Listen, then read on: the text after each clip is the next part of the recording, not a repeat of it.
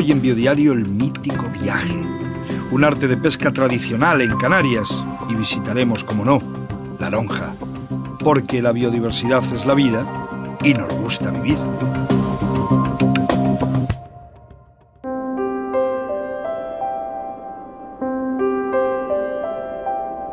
El año pasado se contabilizaron por aquí 560.000 aves ejecutando su vuelo migratorio.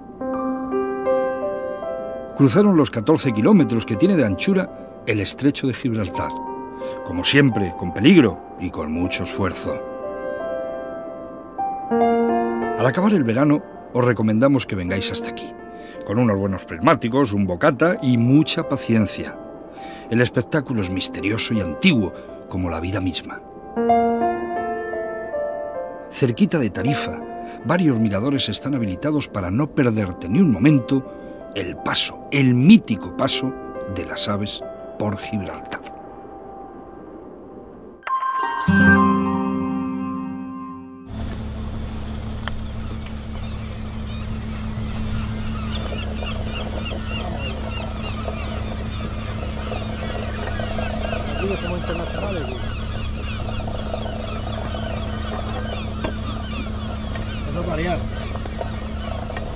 Entra la morena de cola, no de cabeza.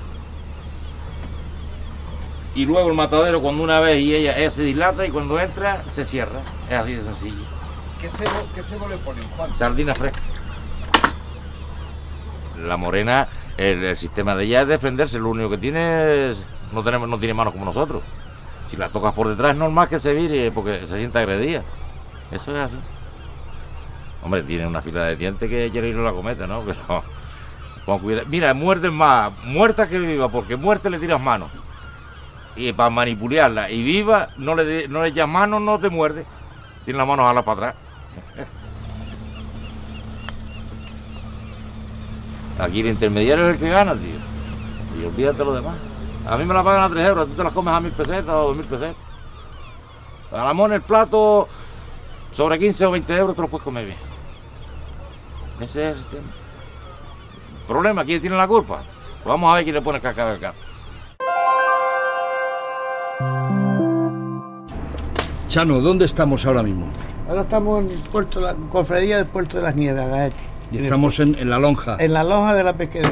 pesando las morenas. Pesando las morenas, que la acaba de coger un señor que es de Mogán, Eh, va a la pesca y con la misma vienen por la mañana, sacan los tambores y los mete en la cámara hasta que venga el, el camión a buscar. Hemos hablado con él, con Juan. Ah, bueno, pues sí, amigo señor. mío.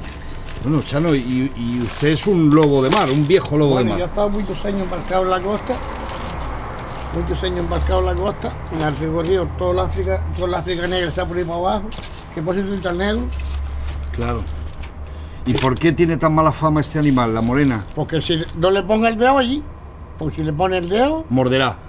muerta, la- tú no decir que la morena muerta muerde, pues esta es igual, esta es la morena, y como le pase el dedo se lo lleva, ¿Verdad, aunque, eh? aunque esté muerta, Ella morderá aunque esté muerta, sí ¿eh? señor. Y en cambio las amas de casa no saben cocinarla bien. Hombre, porque esto que hay que saberla preparar. Claro. Esto hay que escalarla y después echarle un poquito de sal, poquita sal y freírla con la harina y que esté el aceite bien calentito. Cuidadito, ¿eh? Aceite bien caliente. Porque Vale. si la echa con aceite fría no le queda bien la No morena. queda tan- La tan harina misma no se le quema. Aquí en Canarias es un plato delicioso. Delicioso, sí, sí. Y la pesca chano es selectiva porque el tambor no permite que entre otro animal. No, no es nada más que la morena. Una pesca totalmente sostenible. Sí, señor. Que da de vivir a mucha gente por aquí. Hombre, aquí Unas cuantas familias. las cuantas también estos señores que la cogieron ahora vi- vinieron de Mogán, ya lleva aquí ocho días a la pesca de la morena, el tambor. Chano, para acabar yo quiero que usted le diga a la gente de la ciudad que nos está viendo de toda España, el mar hay que cuidarlo. Y si no los cuidamos, nos quedamos sin ella.